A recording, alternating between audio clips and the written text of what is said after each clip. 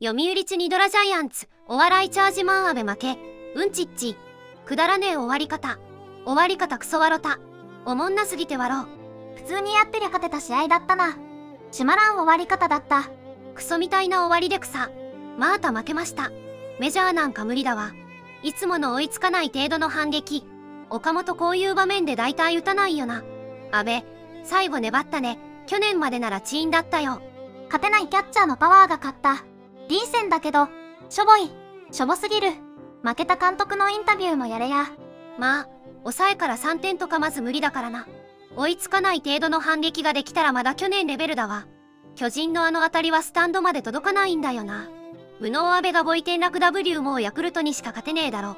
岡本はとりあえず口を閉じてください。3球目甘かったからいけたらな最終回は悪くない攻撃だった。いやおもろすぎやろ夜1試合だけのタイミングでこの試合はナイスゲームや。ま、岡本がこんなとこでつわけないわな。でも結論バントなんてしない方が点もっと取れそうじゃね？って気づいたろ。ご視聴ありがとうございました。